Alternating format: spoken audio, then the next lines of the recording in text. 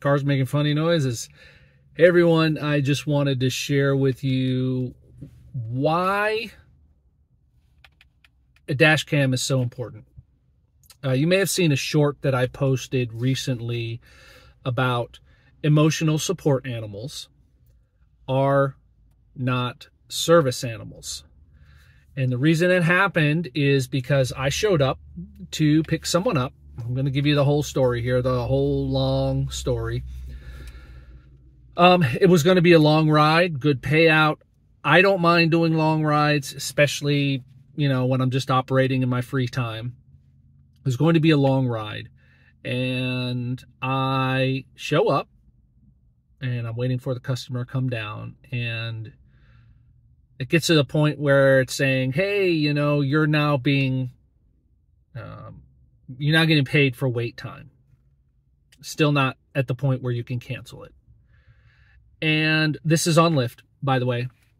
And the customer calls me quickly. I'm just gathering some stuff up. Uh, I'll, I'll, I'll be down as soon as possible. I'm like, fine, take your time. Uh, gets to the point, so I'm waiting, you know, and it gets to the point where um, I could actually cancel the ride. And she immediately calls me again and says, Hey, I'm, I'm on my way down right now. I'm in the elevator. I'm on my way down. Okay. So I wait and I look and I see this person coming. Um, they got a cart full of stuff and a little dog. Uh, she's got a little dog under her arm. And I'm like, here we go. We're going to have to go through this. And I roll down the window. She, she's headed to the back to start loading stuff in the back of the car. And I said, I'm sorry, I, I don't take pets in, in my vehicle. Well, it's an emotional support animal. And I said, well, emotional support animals don't fall under the Americans with Disability Acts.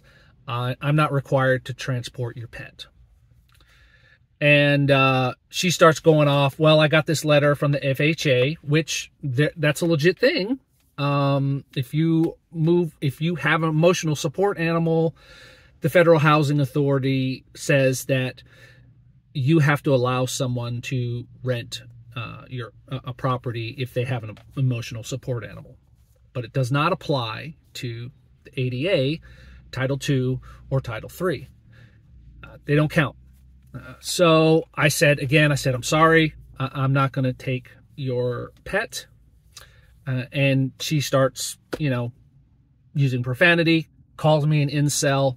Uh, clearly, she didn't see that I was married. Um, so I get down the road. Uh, so I cancel the ride, get down the road, get my $2 from Lyft, whoopie doo, uh, for sitting there for 10 minutes.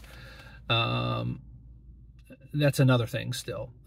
And um, get down the road and I file a, a complaint about the passenger saying, look, uh, the passenger wanted to bring this emotional support animal. Emotional support animals are not covered under the ADA. I'm not required to take them.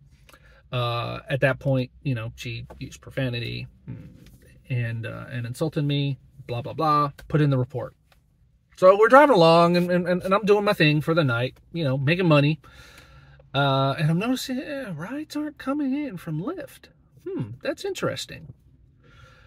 Uh, so I go to check Lyft and I see this message. So yeah, uh, ride, I, my account had been suspended. Okay. And I, I knew what was going on here. She made some kind of false report or said that uh, she had a service animal or something like that.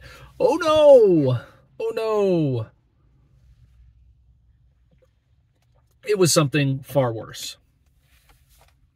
She said I showed up intoxicated and sexually assaulted her. and I'm just like, oh, I can't deal with this today.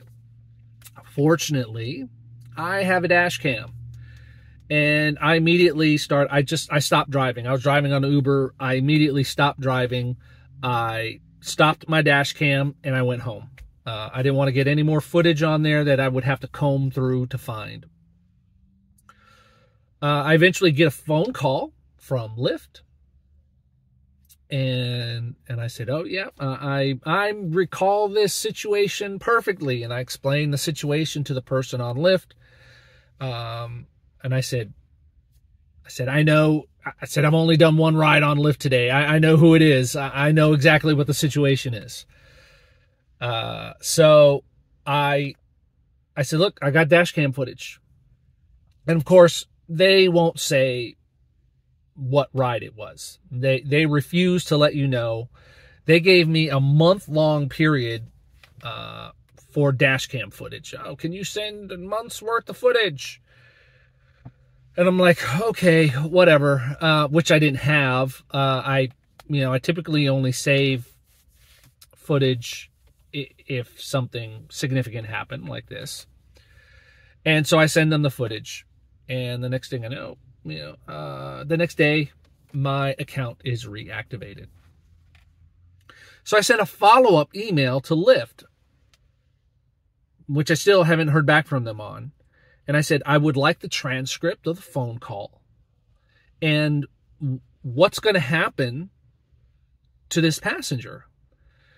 Because what she did is a crime. Um, and I would hope that she's not on the platform anymore. And I want a copy of the phone call with Lyft for my own records. I want to be able to keep that and have that in, in case anything ever comes up.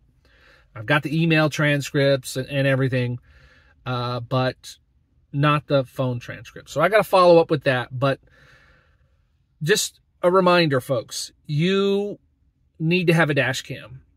And one of the things that I would actually recommend that you do, I don't do this all the time. I try to remember do it all the to do it all the time is when I'm pulling up to pick up the person, I say the person's name that I'm picking up and then I hit the little button on there to mark and save that clip.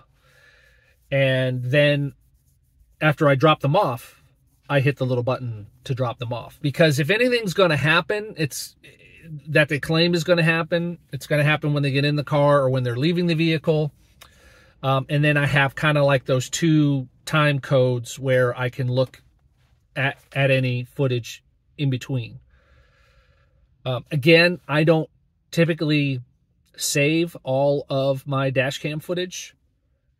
I only save something of significance that happens and maybe I'll I'll change that. Maybe I'll switch to one of these dash cams and pay for a service.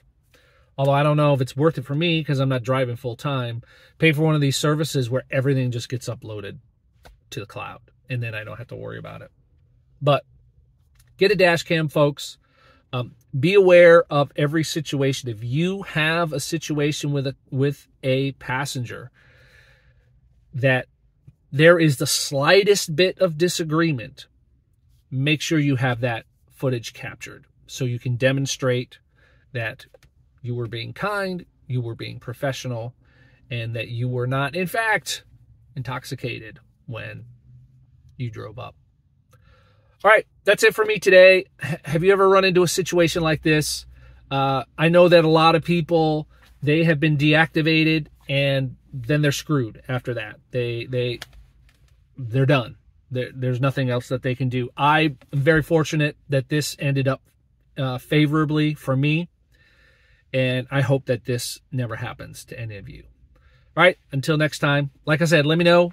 Hit me up in the comments below whether or not this has happened to you. Um, I'm not going to show any of that footage because uh, I don't want to be that person. I was thinking about including some of it in here.